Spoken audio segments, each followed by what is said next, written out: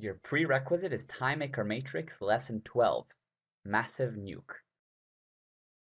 In this short lesson, we will take a look at the Massive Operation pull-down menu.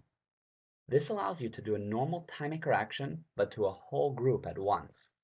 Now, whatever group that is, is based on either everything in the matrix or whatever you filtered, and we'll take a look at that later. So if we click this here, it opens the pull-down menu, and the first option is Massive Action date change. If we click this, all selected items on the matrix will be date moved to the target date which we select here. As you can see, we are presented with a little matrix and we can see workloads, for example, or everything we need. So we can decide where do we want to date change it to.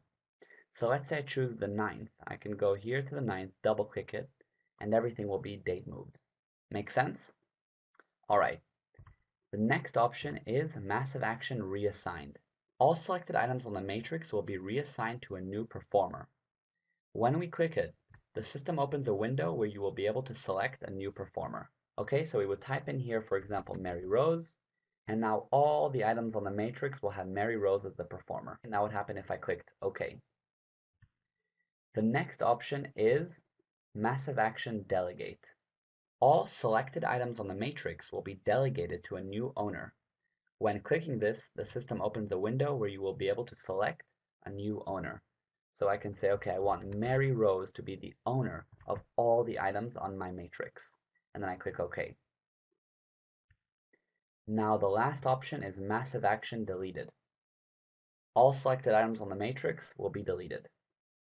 So clearly you're not going to do this to your whole matrix at once, and you probably wouldn't use any of these for your whole matrix at once but it comes in handy when you are filtered on a particular thing. And I'll give you a couple of examples. Let's say we want to filter Mary Rose as the performer, but Mary Rose no longer works in my company. So all these tasks are sitting there, and well, I don't really have anything to do with them.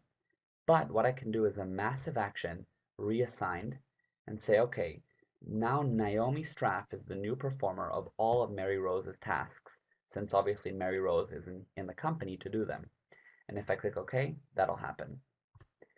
Also, you could do the same thing. Let's say I wanted Mary Rose to be the owner. Let's say she did work in my company and I want her to take care of a few of my items. I can filter all of my items as an owner.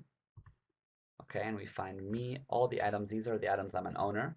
I can say, you know what, I'm going to be out of the office for the next two weeks, so I'm going to delegate all these items to Mary Rose. Okay, does that make sense?